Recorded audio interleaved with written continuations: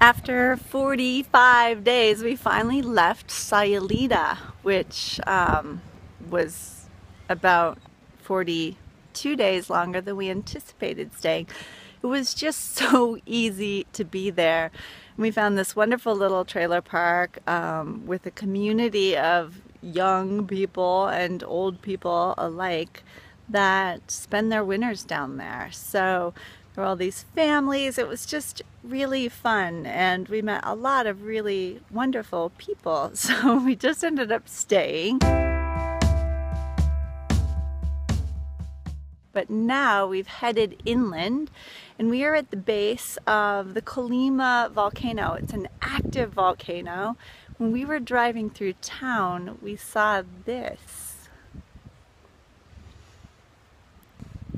We ended up parking at the base of the volcano in a town called Colima. We took a two hour, maybe an hour and a half drive from Colima up into the mountains to a little place, a little tiny village called La Maria, and that's where we are now. So we're going to spend the day mountain biking up around the volcano and check it out. There are jaguars and pumas and all sorts of cool animals here that we don't have at home. We will never see one, but um, I'm putting it out there. Good kitty energy. Now from here, we were originally going to go up into the mountains, further into the mountains, to a little town called San Miguel de Allende. And we've decided to change um, our itinerary a bit hit San Miguel on the way home because the monarch butterflies are migrating not far from where we are here. So we're going to drive um, over the top of the state of Michoacan. It's apparently a fairly sketchy place to be right now, so we're not going to go through it. We're going to drive over the top and then uh, just cross over into the butterfly sanctuary and go check that out. This road trip, which was going to be maybe two months, is turning into an all-winter deal, but uh, it's really beautiful here. The weather is amazing. The country is incredible. It's now that we're down here, it's much cheaper to be here and to live here and travel than it is to be at home. So we're um, we're feeling pretty lucky that we're here and can't believe that we haven't explored Mexico sooner. So here's a map of the area. The um, active volcano is Volcan de Colima, and then the inactive is Volcan Nevado. We came in from the south through Comala, which is right here, and then drove up. Uh, look at the map. We? we drove up this way, and we are here in La Maria, and we're gonna ride up the road to Yerba Buena and then hop on the single track and go up as far as we can.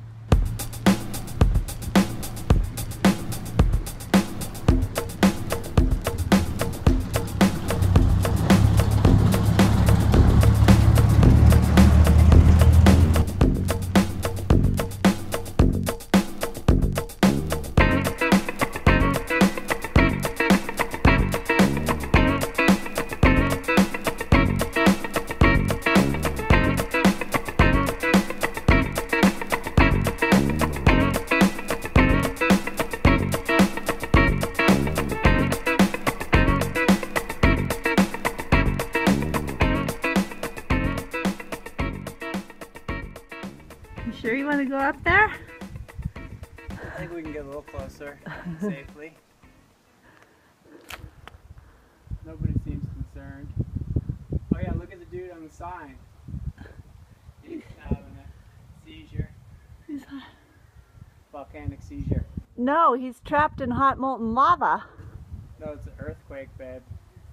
No, that's a lava. That's what. That's hot molten lava. No. And those are the fumes. Earthquake and he's shaking back and forth. He's getting buried alive.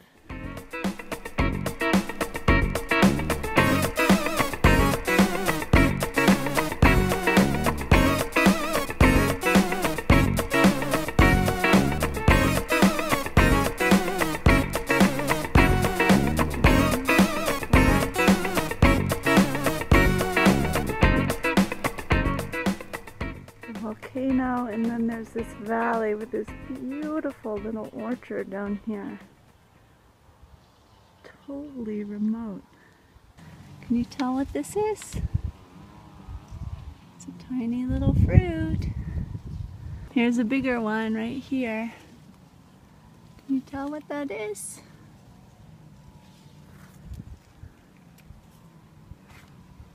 All right, here's a better view.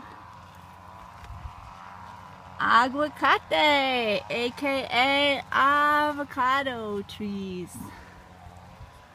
I'm gonna go ride through the orchard. We're riding through this national park and there's something like 80% of the bird species and orchid species found in Mexico are found in this park. And this isn't an orchid, but it's a bromeliad.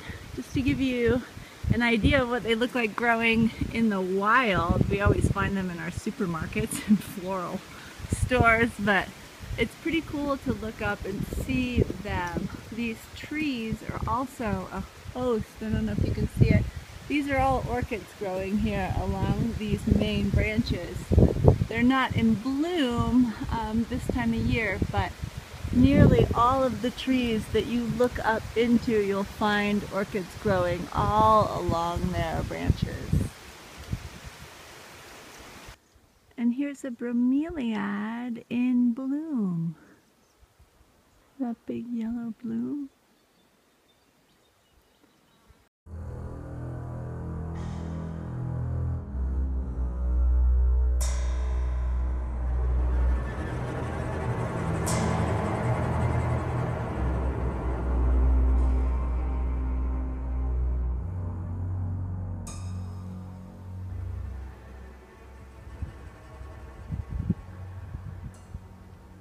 Volcano show keeps going on.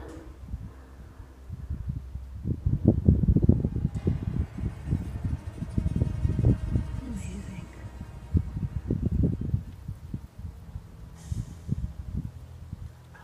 Okay, what's going on up there? An erupting volcano. It's as big as I have. Oh my gosh, there's ash coming down it. Okay, that's way bigger than what we've been seeing.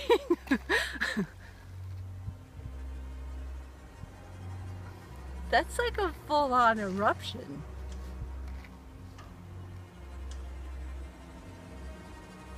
Kind of scary. Maybe we should turn around. This is. We don't want to go any further. Put it that way. that is amazing. That's what Mount St. Helens looked like.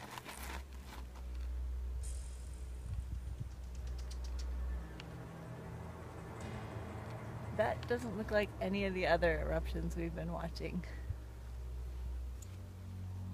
It's much bigger and grayer.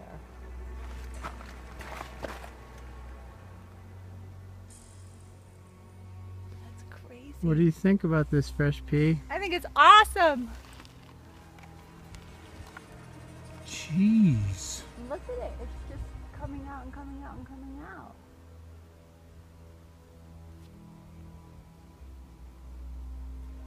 You can hear it. Can you hear it?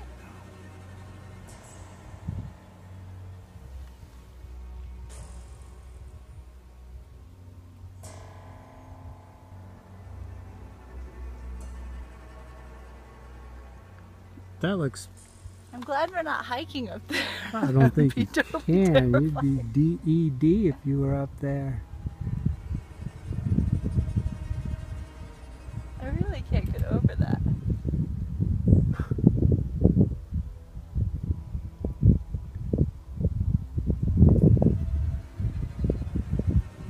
We were in a good spot for it because most of the ride we couldn't really see the volcano. Then we get out in this little clearing and it does that. Jeez. What do you think about that? I don't know what to think about that. It looks cool, but I wouldn't want it to be too much bigger.